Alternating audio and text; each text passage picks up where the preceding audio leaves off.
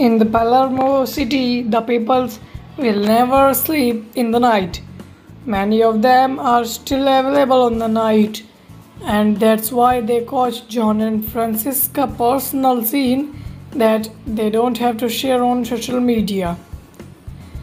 After a long wait, the series Viola come il mare has been now on the OTT platform available, but still fans have the gossip about Can and Francesca photo, which is viral from the Palermo city.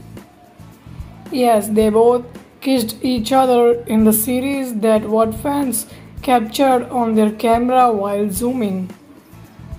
They both are too much stunned in the series, that's why fans are loving the Turkish actor with Italian model. The photo is viral on social media, but it's all the scene of the series Viola come il mare.